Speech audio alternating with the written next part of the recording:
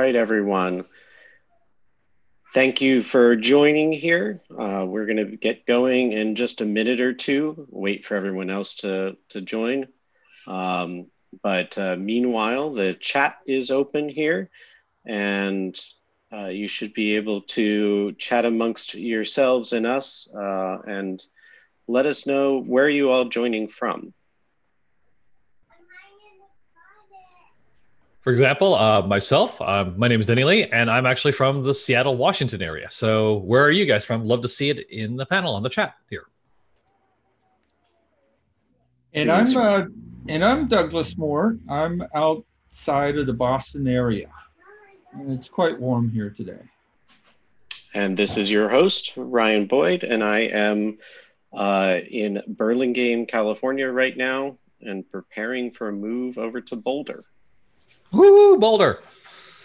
All right, we've got some people from Austria, New York City, Poland. Oh, that's awesome from Poland. Uh, we're we're in Poland out of curiosity, uh, and then San Diego. I love that town. That's pretty awesome. Uh, London, India, uh, Jaipur, Squaw Valley, Netherlands. Hey, that's awesome. Cool.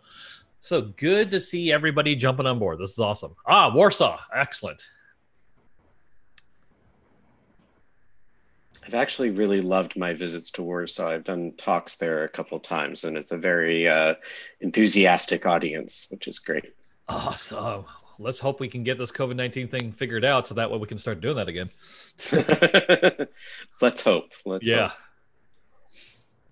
All right. Um, I think we should be ready to get going now. The, the pace of people joining has slowed a little bit. So um, we're here today, everyone, to talk about slowly changing dimensions, uh, SCD type 2, uh, which is a fundamental from the data warehousing world. Uh, and we're here to talk about how that applies in data lakes, uh, and in particular, Delta Lake. Uh, so again, my name is Ryan Boyd. I'm your host today, substituting for Karen, filling in some big shoes here for those of you who have attended past uh, meetups, but really looking forward to this and talking with Douglas and Denny.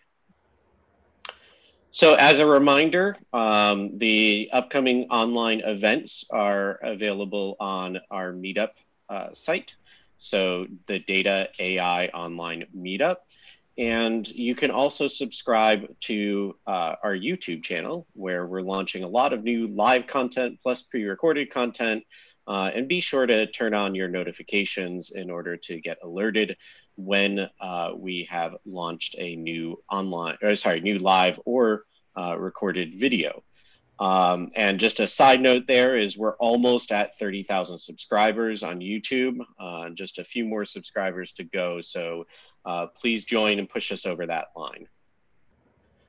Uh, and if you enjoy the content here, um, I am sure you'll enjoy the Spark Plus AI Summit that is coming up here in just a couple weeks or a few weeks. Uh, and uh, so that's June 22nd to 26th.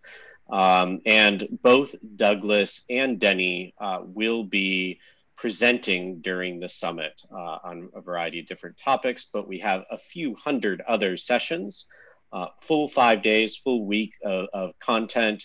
We have quadrupled the pre conference training, and here is a discount code uh, for you to get 25% off the training.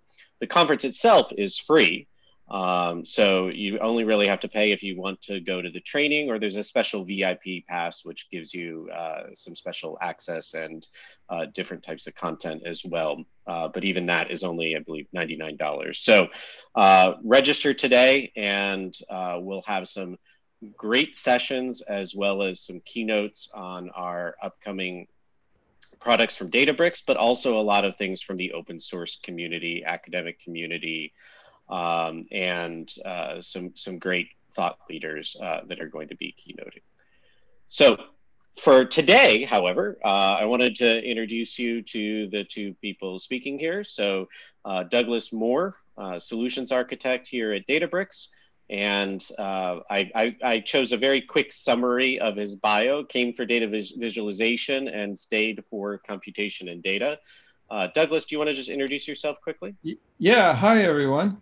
Uh, I'm I'm Douglas Moore. I've been uh, working at Databricks for uh, just over a year, but I've been in uh, data databases first, uh, OLTP databases, and then uh, more data warehouses, data marts for analytics over the last 20 years or so, and I've been working in big data specifically for about eight years and I kind of I kind of smile that that you actually uh, that I actually wrote that that quote in my bio. I, I think it's kind of funny. One one of my Spark AI tracks is is uh, portable data visualization. So uh, hope hope you come and see that as well. Oh, cool! I actually want to go see that. So looking forward to that, Douglas. Uh, great. Well, thank you for the introduction here, Douglas. Um, and then uh, he, Douglas is going to be interviewed and in discussion with Denny, a developer advocate here at Databricks.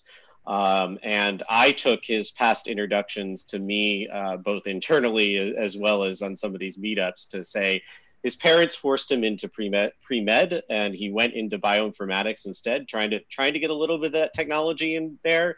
And then he went full boat uh, against the, the wish of his, wishes of his parents by going into data warehousing data science and eventually developer relations. Uh, denny uh, want to introduce yourself a little bit more beyond uh, beyond that line uh, thanks very much, Ryan. Uh, that's a little probably suspiciously specific, but nevertheless, um, well, I've been part of Databricks. Uh, I guess I'm going on about three years with a break in between. Um, that's another long story. Uh, was actually part of the SQL Server team at Microsoft and help enterprise customers working with data warehousing and OLTP uh, enterprise projects with SQL Server, and was also uh, prior to Databricks also uh, on the team that helped build what is now known as HD Insight. We were the nine person uh, incubation team. So, uh, been working with Apache Spark for quite some time. Still likes to intermix data warehousing, and then every so often you'll still see me talk a little bit from the biological side, so that way I don't disappoint my parents. Just as Ryan called out. All right. Yeah, we don't want to have you disappointing your. No, no, no. Let's not do that. Yes. Yeah. Um, all right. So let's get into it. Now that you've met everyone, uh, I'm going to turn it over here to Douglas uh, and let Douglas uh, present his screen. And he's going to be presenting his notebook here uh, on slowly changing dimensions. So, Douglas, go ahead and take it away. Okay. Thank you, Ryan. Uh, let's see. Uh, I assume you can see my notebook now. Yes, we can. We can. All right, very good. So I just want to set uh, some context initially. So we, you know, a lot of companies, uh, you know, part of that eight years in, in big data has been about building data lakes. And, and data lakes are a way to bring in all these different data sources and integrate it and prepare it for AI, ML, reporting, uh, creating data products, and, and doing stuff downstream. So, so you bring bring your data in raw format, whether it's CSV or or just binaries or, and whatnot, and you clean it up, and and you prepare a goal. A lot of companies are also moving their data warehouses that they may have acquired actually 20 or so data warehouses over their over their last 40 years or so and they're bringing all that data in there a lot a lot of uh, structured data and they want to build another data warehouse in the cloud and, and run that off of the data lake and uh, technologies or, or move that to a cloud data warehouse.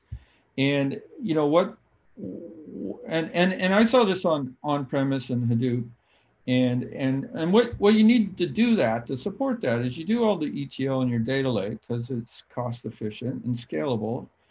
And, and then you push it into your data warehouse so what, what you need to do there is, you know, integrate all these data sources. You need to build your fact tables. You need to build your dimension tables because, you know, the, the techniques, the Kimball techniques for analyzing dimensional data still live on and will live on for many more uh, years and probably decades uh, to follow.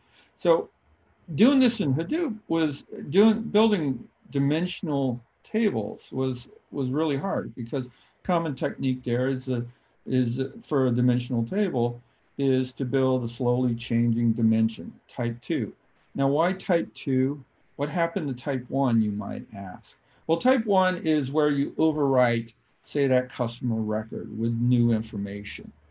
Type two um, creates a new record with the new attributes of the customer. And, and type two is very important in that it preserves all the facts that you've accumulated up to this point in time. You may be running, uh, you know, and building this data warehouse every every month or every week, or you know, as you get more horsepower and more efficiency, you could be rebuilding this or updating it every four hours or so. You know, giving your consumers fresh data. Now, you don't want to rebuild that fact table every time a customer device, product, store, so on and so forth changes. So you want to add a new customer record, and then any new facts that come in, uh, you know, sales or orders related to that customer, they just get added to and and linked to that new customer record, that current active customer record.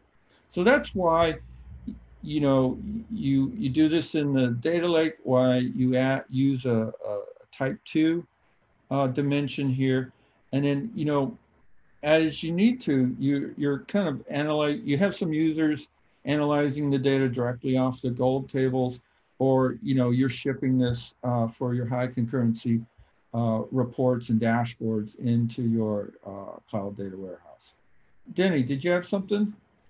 Well, I mean, you you've talked about type one and type two, which is awesome. But I guess the question for me is like, uh, I believe you had mentioned in the past that like there's actually like six different types of uh, slowly changing dimensions, right? Yeah, yeah, it's uh, it's kind of crazy, and and and by no no means I uh, am I going to go into those, but Wikipedia would list six. Kimball would really only list three. Right, and, and so. And, and I would go with Kimball, and he you know, that's where you're adding additional columns. Like, you know, what was your first address? What was your second address? So, what was your first market segment or second market segment? No problem. So let, let's dive into that. So you've been bringing up the concept of Kimball. So for the folks that actually have a data warehousing background, they're probably going to understand, invariably understand Kimball quite well. But how about for those folks that are coming more from the distributed side of the plan? What what what are what is in reference to Kimball in this case? Well, uh, so so Kimball's um, created a methodology for building uh, analytics in a data warehouse, and and thought through all the unique data problems and how to structure it and all the processes, and he kind of codified it. And he has hundreds of kind of tips and best practices available now, and he's written a whole whole bunch of books and has a whole team to support him. And, and so he codified all these techniques and the slowly changing dimension type two is a best practice. And, and the key aspect of it is it allows you to do as of analytics. You know, what, what did my sales or orders look like as of last month, last week, three years ago? And, and, and, and and that's really important. If if you just use the type one dimension, then you can only do as is view of the world. You know, what does the world look like today? And, Got it. And, and and that doesn't really let you understand what the world looked like according to all your data. Uh, you know, last quarter. So if you want to do quarter over quarter analysis, week over week analysis, it, it's it's impossible to do. Got and it. So, so Kimball codified all all this. Now it with Hadoop. Oh, oh sorry. Uh, one yeah. clarification point: Is there then an implication on the type of schemas that are being built when you when you work with uh, Type Two slowly changing dimensions? Yeah, yeah. So um, good point. Maybe I, I, skipped over that context setting. So there's a, a, a dimensional or star schema that you see here you have the fact table here and you have foreign keys uh, from, from your customer or device or product or uh, store, so on dimensions. There's usually a, a time dimension as well in here. And, and those are surrogate keys, say on the customer table, that lend themselves to this fact. And the fact might be generated off of a purchase order or a sales transaction, an e-commerce order, um, so on and so forth. So, so these facts, they're, they're generally append only. But, but the, the dimensions that represent a customer, customers change, their, their preferences change. Uh, the market segment that you might want to classify them in, that we're going to use for this example, will change over time. A device or a product, you might have different revisions of a product that you're selling. You might not want to, or, or a device. A device might get moved or change ownership or re, reprovision. So these things change over time. You need to capture that history. You don't want to lose that history uh, because you want to understand, like, you know, what, why did my, a classic example is, um, why did my, let's say I, I have a, a, wine store, I'm selling wines, and I want to understand why uh, my sales have dropped. Well, you know, you can look at the facts all day long, but you know, without that context that maybe some of your customers have moved out of the region around your store, you know, that would be lost if if you use the type one dimension. Now, building this in in uh, a data lake with with a you know uh, technology, say Hadoop or you know other technologies where your data lake is append only. You know, the underlying substrate is S3 or HDFS. You're, you know, it's append only file system. That gives it the, the amazing scale that, that you get, petabytes of data that you can store in your data lake and integrate it all. But, you know, you can't update it directly because that would require locking. So Delta Lake creates this abstraction over S3 or ADLS Gen 2 over your cloud storage and allows you to get these updates, these deletes, these um, upserts or merges. And so the that upsert or merge is, is key to doing a, a slowly changing dimension type two, because what you do is you're gonna update the previous record. So in, in this example here, this previous record, you know, the supplier state is California. That previous record, that was given an end date. You know, when, when was a supplier, in this example, when was the supplier last in the state of California? Well, 2004, 12, 22. Prior to that, they were in California. Now, after that date, they're considered to be in Illinois. So they're given a new start date. End date is unknown, so that's null. So this, you know, as you can see, this is an additive process, but you have to go back and update that pre-exist that, that prior record here. And that's what's been challenging with Hadoop and big data is doing updates until Delta Lake comes along. And so now we can do that. Uh, we have updates and, and inserts, but uh, it's important to note that you want to do these two things, add the new record and update the previous one in one transaction because you don't want any kind of inconsistency. And, and Delta Lake gives you transactions and ACID compliance on that updates. And the merge operator, you know, across each operator, the merge operator allows you to combine both the update and the insert. Uh, so database people know this as upsert. The kind of the Hadoop big data folks know this as a merge. So and in uh, in uh, in Delta Lake, it's called the merge into operator. And so we're, we're going to get into that. But before we do that, let's explore the data a bit. So I have some data from a TPC data set, the customer data. I, you know, I drop into Bash, I do an ls, I see it's 117 megabytes, you know, a sample data set.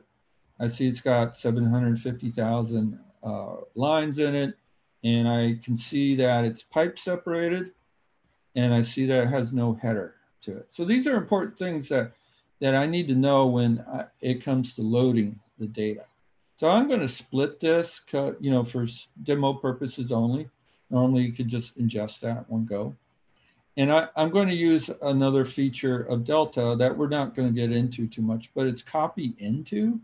Copy into will track like which files you've read and which files you've not read. But what I'm doing is I'm reading from the cloud storage, you know, in, in your uh, AWS account or uh, or Azure Blob Store, but I'm reading from your storage from our storage account. The data, I'm mapping it based on types and names, and I'm putting that into this delta table here. And I'm I'm telling the the copy into that it's a CSV the separator, it's pipe, infer to schema, no header. I learned this because my data exploration. And because I run this as a demo, I, I'm going to force this to reload. You know, other, otherwise, what, what copy into will do is ensure that you only load it once. It keeps track of all the files that you've loaded. So, and, and it simplifies your ingestion. But anyways, so for the demo, we're going to force that to true. So that runs. Then I'm going to create a table over it, over that location. Now this is accessible, this customer dim table is now accessible via SQL. So I can work with it in SQL. I can look at, at all the different types of it, fields. I can look at the physical location of where that data is. And I can browse the data and see that I've imported. Now, one thing I didn't talk about, uh, let me go back. You know, if you're an ETL shop, you're going to add a lot of audit columns here. So I, I put this in here because, uh, you know, I used to do this for a living, build ETL systems. But, you know, the input file name, what was the source file? This gives you the provenance, the, the user that ran this job, the job date, if you see my notebook, I added some parameters here, the job date, um, my username, the, the target direct uh, database there as parameters. So anyways, going back, I'm loading, I'm loading this, sorry. So I, I loaded all that date. I loaded all that date. I have the audit columns here, source, user, create date when I, I created this record and update date. So I, I think I mentioned I designed some data warehouses in the past. So it's hard for me to build a demo without some of these production uh, type uh, things that you would expect. Anyways, let's look at the customer dimension in, in more of a summary point of view. So what I see is we have five market segments in the TPCH data set. And, uh, you know, this is a synthetic data set. And, and your first clue there is that this is evenly balanced. You wouldn't normally expect to see this in a real data set, but you know, because we clicked here, we could bar chart, you know, we could basically see that we have five segments and, and they're evenly balanced. And so with Delta Lake, you can look at the transaction history and you can see that I did a load. I did this yesterday and, and, the co- and the copy operation. And you can scroll over here and you can see a bunch of operational metrics. You know, uh, I loaded, um, I loaded a bunch of records. Here. Make sense? Any uh, any questions thus far? So I, I took us through the overview and loading the data, and and a, a little bit of an analyzing the, the data that we loaded. Sure, sure. Actually, we've got some great questions that are coming in. So why don't we take a pause here uh, to start diving into those questions, actually.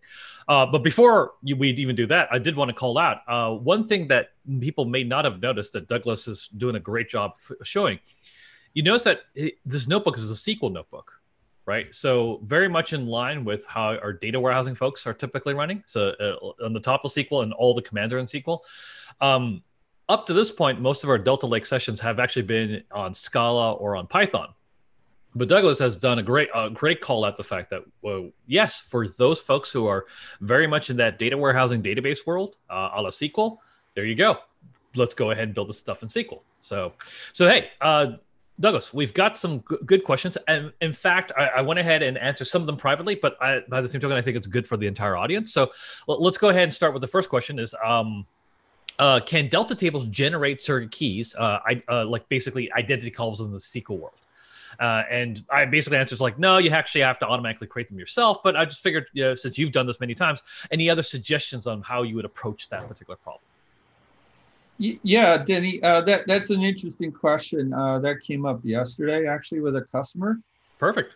And um, and and there there's like three approaches to do that. At least three approaches, and we could devote a whole uh, actually session to generating surrogate keys at scale with with Spark.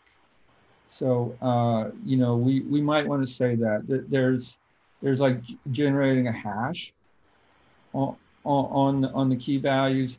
There's a monotonically increasing ID.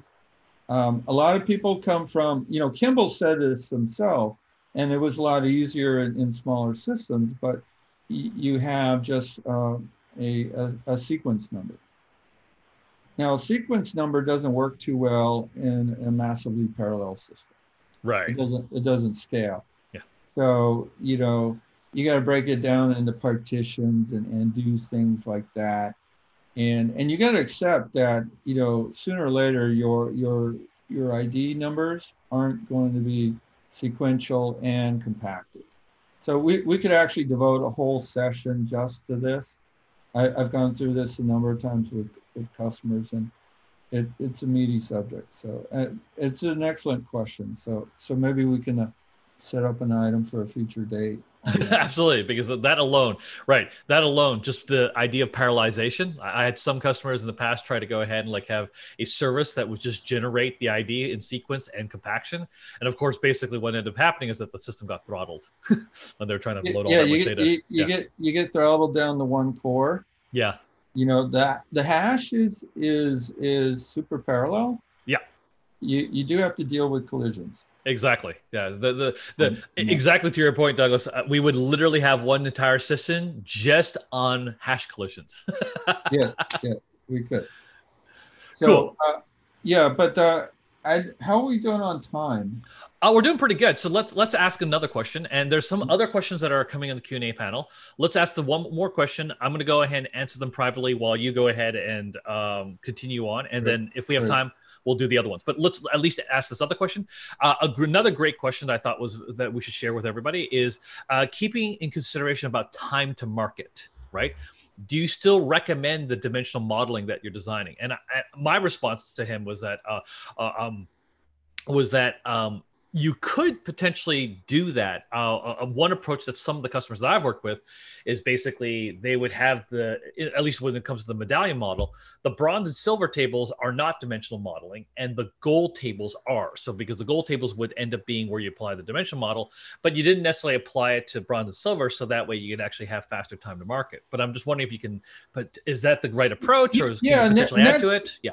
that's that's definitely my been my experience as well that that you know and it's not like all your data actually meets makes it to the gold layer Right.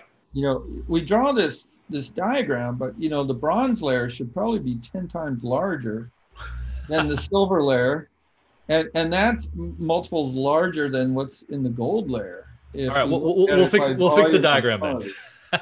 you know but we we draw these kind of nice and even because it shows better Yes. but you know what what what companies do is they land the raw data because you don't want someone filtering it because they might drop something you might need today or you might need in three months from now. So you you you, you know you have the the theme touch it take it. You know if if you touch a system we'll bring it all in. You know you keep the the catalog and the provenance of that but then you allow people power users even to go in and explore this data figure out what's there. Figure out if it's even worth further structuring. You know is this a useful value a useful metric here in the bronze layer before we put together an it project to structure it and create reports and dashboards? You know we, we might think like the the number of windows on a house or what, whatever that metric is is a useful number. You know we might just send out you know a scouting party say well is that really useful before we build a whole IT project and wait? So in terms of time to market by by having the, these layers of curation you'll you'll get there faster. You'll you'll get to the crux of it, the important stuff a lot faster because you're weeding out a lot of stuff that you probably don't need down here, way way out here where where your executives and and your your line folks are, are looking at this on a uh, hour by hour basis. That I, you know that that's been my experience. It sounds like lines up with yours as well. Quite uh, yeah, seems like you know this is we've got common approaches in the even though we're on different sides of the country, common approaches in the sequencer world. yeah, and you know as you can see, you can access all this data with SQL or Python or Scala. But you know, because you can access it with SQL, you open it up to a broader audience within an enterprise. But you can get to it quickly and you don't have to wait for that long IT project and budgeting and, and justification before it gets into your reporting system, into your, say, your data warehouse. So you actually, in a way, get there faster because you have this have this data lake and, and the flexibility of that. And Delta Lake makes doing this so, so much easier with the updates, the inserts, the merge intos, the copy intos. Rock on. Well, okay, let's continue on since we've got mm-hmm. about, I'd say about 15, 20 minutes left. And so there'll be okay, time. Well, well, let's finish this up and then we uh, we will we do have a bunch of other questions. I'll be answering some of those questions online so just in case we don't have time to answer them live. Uh, but i'll answer the questions in the q&a panel while you go ahead and talk about the really awesome context of the change set here. Sure.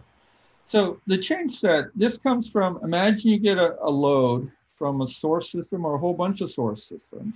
And these are changes that are going into your gold tables, into your dimensional model. You have this in your data warehouse, you have this in your OLTP system, but these are the updates. So you need to process this through the silver layer and, and standardize it. Um, and, and now you have a change set. Now you need to apply it to your dimension. Okay. So I'm simulating one here. I am actually sampling some 10% of this customer dimension. And I'm saying that in, in my case, I'm changing the market segment from whatever it is to sports. Now you you can make whatever up whatever uh, business scenario where you would reclassify some of your customers from five segments to say six segments. But I'm, we're we're adding a sixth segment to some 10% of our customers here. And you know, we're doing this for demo purposes, but there are real life scenarios where where you're resegmenting your customers and using data science and machine learning for that. So that's that's a change set, and then I go and evaluate it. You want to make sure you have no duplicates in your change set. We're going to display it. So out of some 700,000 records that ended up in the in the customer dimension, uh, 10% is 70K there.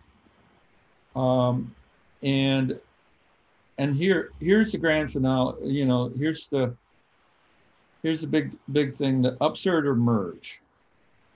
So we're, we're we, you know, we talked about what we're going to do. We're going to do a merge into, going to merge into the customer dimension, right?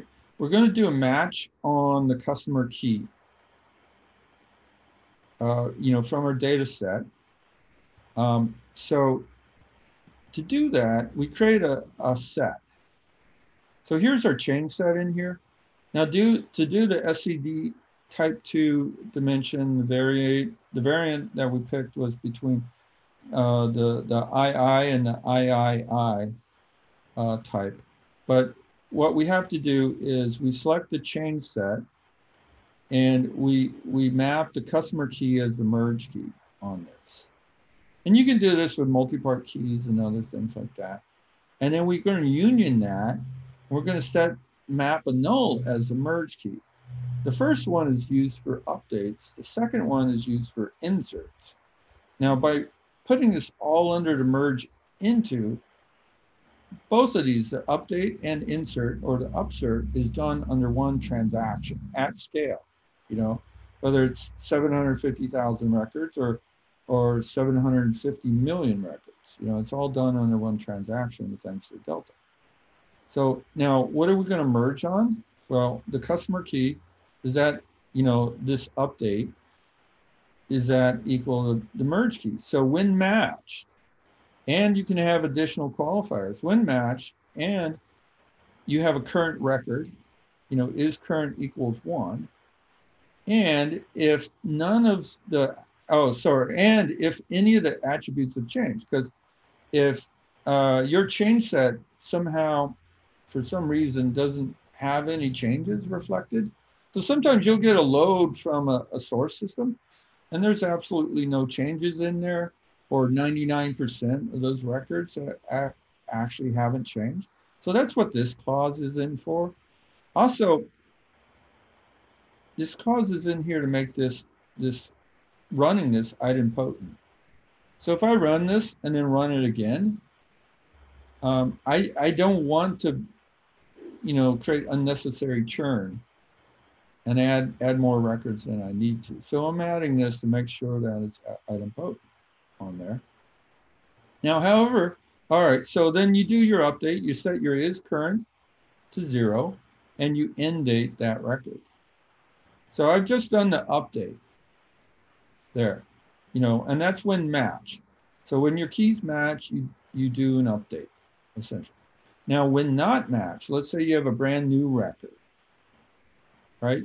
or or you have a brand new record because you know some of the attributes have changed you do an insert and we have this little shortcut here insert star which means you don't have to list out all the fields in the change set you know as long as your change set schema wise matches your um, your your target table you can just put the star in there makes things a lot easier so you run that and that's a lot of code to look through and, you know, I went through, and here you can see in the transaction log, all that's captured. And, you know, operational statistics about what happened. That's all captured. I'm, you know, I, I like to, I like to test my code. So I left some of that in here, but you can see the quote unquote older original version. They're all is current. I had 700,000 of them. In the new version, about 70,000 of those um, have been end-dated. Um, in, in the in the quote unquote new version, 63, 630,000 went untouched, and um, and and about 70,000 were inserted. You know, and so those are all statistics. Do a final check of all current records, you know, we're just resegmenting the customer base, so you'd expect 700,000 there. And again, big data is tough, so, you know, visualizing it is important to tell the story. So I think this tells it better than, than my explanation query. The, the, the original version or old version here in orange, you can see looks like our previous chart, now, I took 10% away from that original set and I created a new market segment, sports. So this delta or this, this difference here, basically I, I spilled it and imported it all into the sports segment. Does that, does that make sense? Yeah, definitely. I mean, I think what you're doing here is absolutely providing that context. And then, so related to that, right? You're noting the, the switch over to sports, right? That this segment is sports. And so that invariably leads me to ask a completely random question here, which is what's your favorite sport? Well, uh, uh, Denny, as you know, it's not so random, and, by the way. and, and, and, we we recently discovered this that we're both into rock climbing. That's right and, and, and Denny's told me some amazing things about rock climbing around Seattle. And, and one of my favorite places out here in the east is Acadia Park, uh, climbing over the sea cliffs and whatnot. Uh, so, you know, once this COVID thing is, is, is over with, we hope to visit each other and, and, and go climbing outside. So, yeah, so, yeah, definitely. But but what you're also saying is that based on this particular customer scenario, it's it's very apparent that we should actually create a sports store, maybe specializing in climbing. That's what you're saying. Absolutely. saying. Okay, perfect. Absolutely. All right. I, I just want to make sure that we got that covered. That's all. So. And, and and and let me let me show you. So you know the press home the the as of aspect of what we created. Yeah. Is I'm I'm doing a union all between two views. This first one is like okay, I, I set an arbitrarily large date here because I didn't want to update this every time the demo was given. But at some point in the future, you know, what does a market segment look like? Well, that's where you get the new or blue in here. And I, I want to union all that with some some date in the past. So because we did this, we can do a, um, uh, you know a quarter over quarter, week over week comparison. I'm doing kind of a, a you know because of dates, uh, it's decades, but I, with this, I'm able to create a before and after view of the data that's now in my customer dimension, right? And so this is what you would normally do in in a uh, uh, data warehouse, you know, and doing that dimensional analysis, and and doing that time uh, based analysis. So so this is this is a typical data warehouse query in here, and this is the visual. Now, with Delta Lake and time travel, you can see that I can look at transaction one that we showed a little bit before, and, and I'll look at the original transaction, the load of the data. And, um, and, and I mapped that to old and new, and you get the same results. Does that make sense? So we can look at this two ways, verify the transaction. Now, as you run this daily or hourly or whatnot on into the future, you're ultimately going to vacuum this, this table and remove all those previous transactions, kind of clean it up. And so that's an administrative command. And, um, you know, and so it's best to use this, this query here, the, the real data warehouse query in there. Now, for a short period of time under that administrative period, you can certainly use this to understand what changed in, say, last night's load, right? You can see what happened. If you want to know from an operational point of view, you can use the transaction log and the version numbers on it to understand. But for an analytics point of view, tell, tell your consumers to use the data warehouse query. Does that make sense?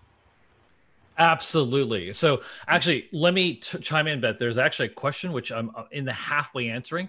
So, as uh, to call out that Douglas is doing an awesome job calling out the fact that we have this ability to do dimensional modeling within data lakes because of Delta Lake, because Delta Lake has ACID transactions, which is pretty sweet but the key context is that you know we can do it but obviously we're, we do not have all of the advantages of the enterprise data warehousing world in delta lake yet.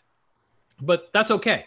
So one of the things that we would definitely suggest to all of you is that go to the delta lake github create an issue. We, as the delta lake community actively look at all the uh, the the requests coming in so we can go ahead and understand better what you do or do not want to work with right? And so if we're seeing a lot more people saying hey we love dimensional modeling. We really want uh, some of the features of dimensional modeling within delta lake we get enough of the community that's saying yes that we want to do that. For that matter you can even put some prs in to help us with that right? So it's a, it's an open source project so that's what's great about this. So i just wanted to call that out real quick. Yeah and um you know, coming from a Hadoop background, last eight years and helping customers optimize their spend on their data warehouse and actually move all the ETL out of their data warehouse and move it onto the data lake. Doing it with Delta Lake and the merge and the transactions is so much simpler, so much easier and faster um, as well. So, so with Delta Lake, you can you can or actually with Hadoop, you have to shut down access to your customer dimension, to your tables, while you're doing loads. With Delta Lake, you can leave those queries open to run because it's a commit and, and your users will always see a consistent view of the data.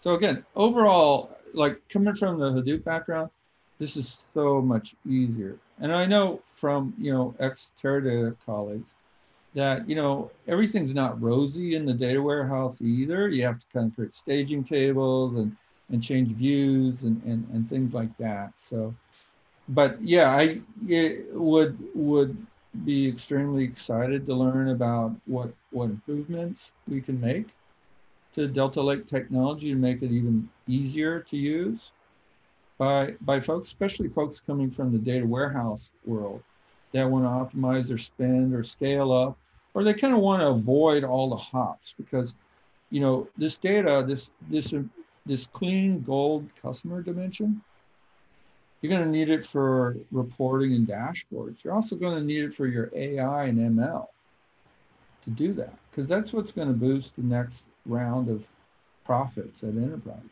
is that AI and ML because that looks into the future. The dashboards and reporting looks backwards. You know, which is still important to do, but you know, the, the next wave of, of mega profits are going to come from looking into the future, anticipating, you know, what customers are going to do, how that's going to affect sales, orders, and, and, and so on and so forth. Perfect.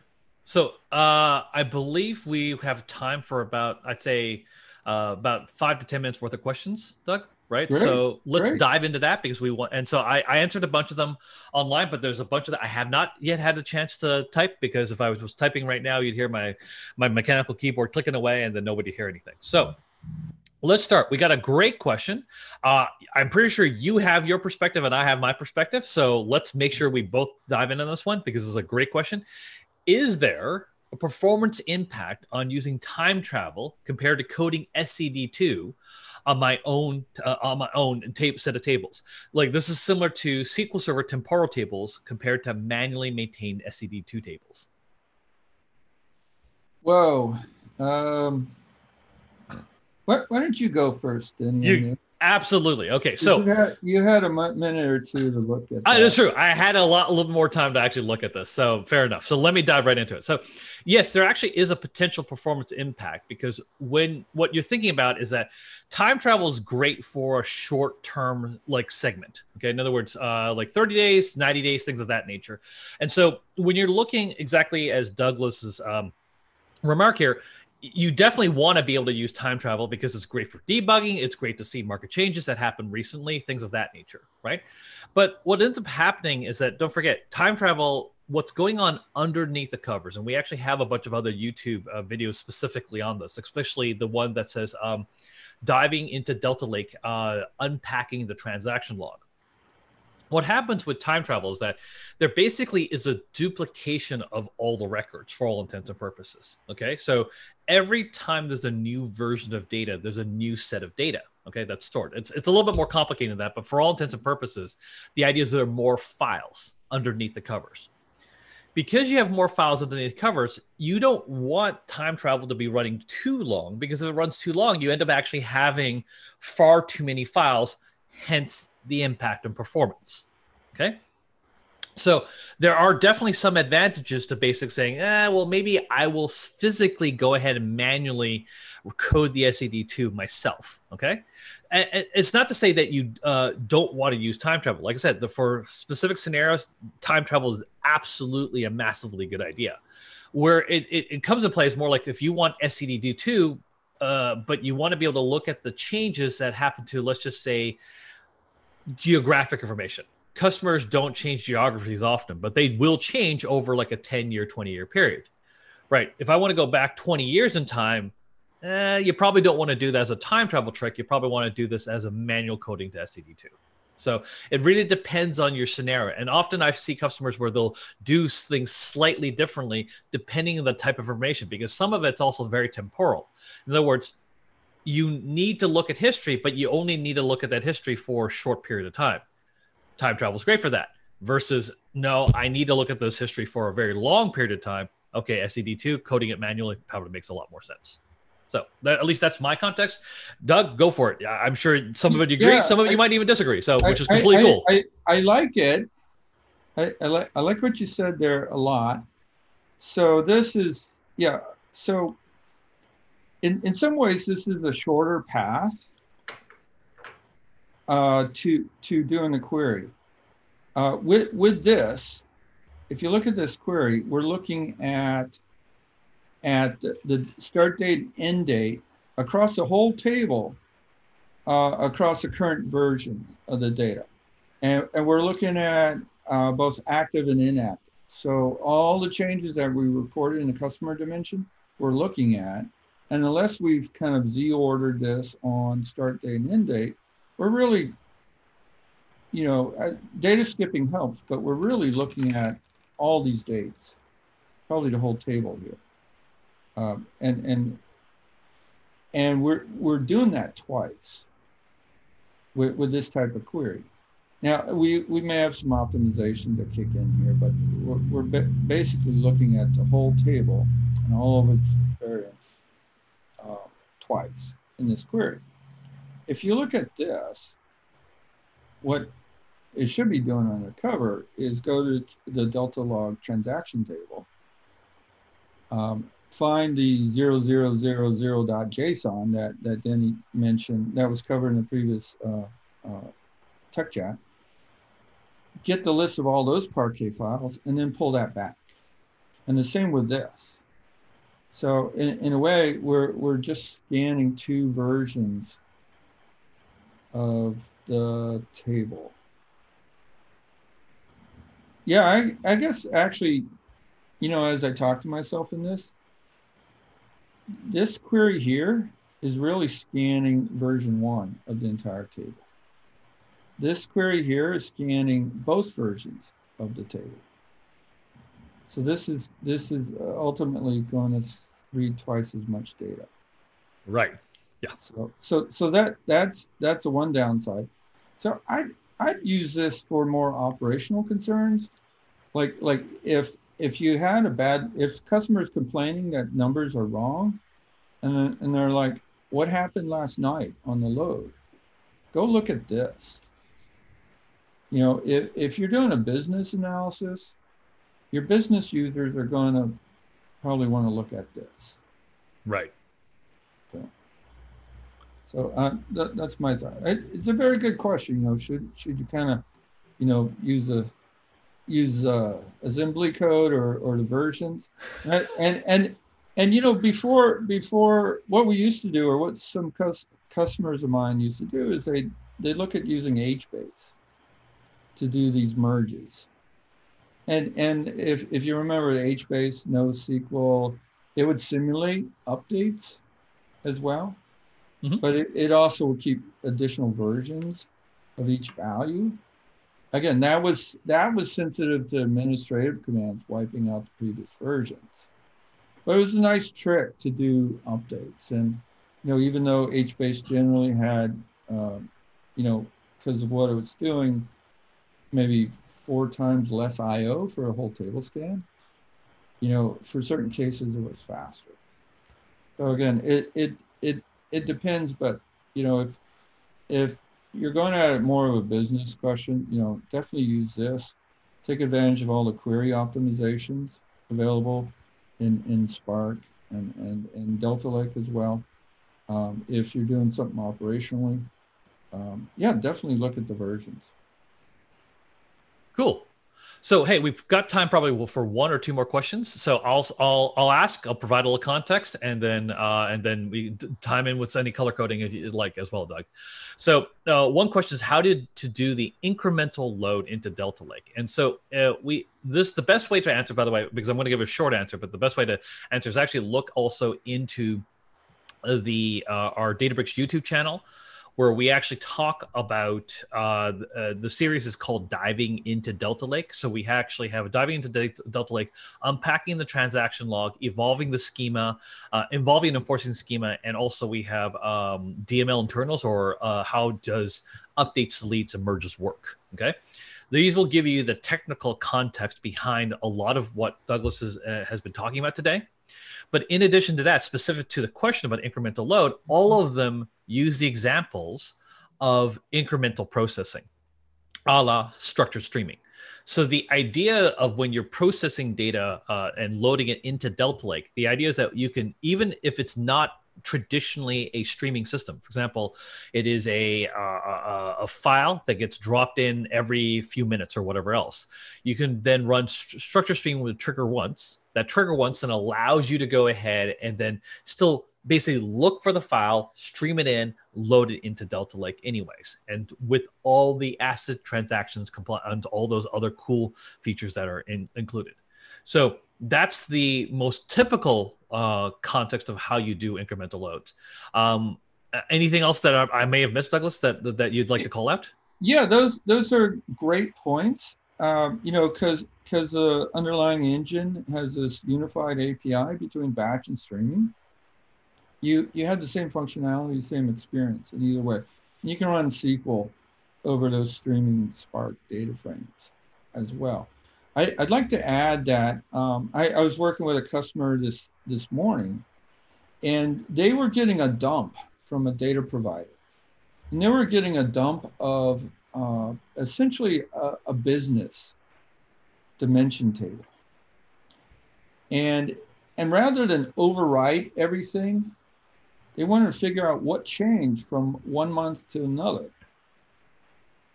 And so, so there's a couple things to do there. One is to analyze it. You can do the minus operator to see what records have changed. When, when it comes to adding it to your, your, your copy of this business dimension table, you can use the merge operator, merge into table. You have your key, which is your primary key, which is going to be your key, you know, your, your business identifier, your start date and end date. Because again, they're sending you snapshots of their dimension table. But they're, they're sending you full snapshots, full dumps. Um, what, billion rows, multi-billion rows, right? Now you don't want to necessarily reprocess all the billions of rows if say only 100,000 of those change. So you want to figure out what's different. Now, you can do a you can use the merge into and then when not matched you know and you set set the primary key to be the uh, you know your matching key here would be your your your business identifier your start date and end date right and so when not matched do an insert now you have just the changes that you've received you know changes based on matching on the primary key which is awesome. And you can go back to this query with the version numbers and you can see exactly which records have changed. And then you can run, uh, you can update all your downstream analytics uh, that are based on that, that business dimension table and, and what might have changed. You know, if you need to rerun um, uh, your, your scores on the business, that, uh, uh, but only on the businesses that have changed. Then you can find out what that is through this query. You don't have to rerun another minus query, and and you get that, and and now you can update the rest of your downstream pipeline. With, with structured streaming and and some other features that are coming out, that can kind of be all stitched together automatically. You know that that delta you can write to a delta table and you can have a stream reading off that delta table. It'll pick up only the changes. So you, you know, you, you know, on that on that second hop there, you don't even have to run a query like this. Your your your structured streaming reading from delta as the source will automatically pick up all those changes which you know again can greatly simplify your end-to-end pipeline speed it up. Um, so some amazing, amazing things that you know stitching together these these bits of, of technology are available. Perfect. So hey, well, time is up for us. We want to be cognizant of everybody's time. We have a lot of other questions, so I apologize that we could not answer all of them. So I encourage you to go to the Databricks YouTube channel, um, where this video is actually sitting right now. Because you're sitting there, then you're able to go ahead and uh, we actually do answer questions. So take your questions, uh, whether we already answered them, not doesn't matter. Prop them right onto the YouTube channel. We'd love to go ahead and answer them live. So um, thank you very much. I did want to wrap it up and send it back to Ryan. Great. Thank you, Denny. Uh, well, thank you everyone for attending today. Uh, it was really exciting to, to hear Douglas share all his uh, knowledge on on these uh, topics, as well as you know Denny's great questions and, and sharing his own knowledge as well. But uh, if you want to hear more, uh, feel free to like like Denny said, subscribe to the YouTube channel, and also don't forget to register for the Spark and AI Summit, uh, where they'll both be speaking. Uh, and there is a discount code for 25% off training uh, as part of the Spark AI Summit. So thanks very much, and looking forward to the next session and all of your uh, fantastic questions, and have a great rest of the week. Thanks Have very much, everybody. Time. Have a good time. Climb on. Ah, climb on.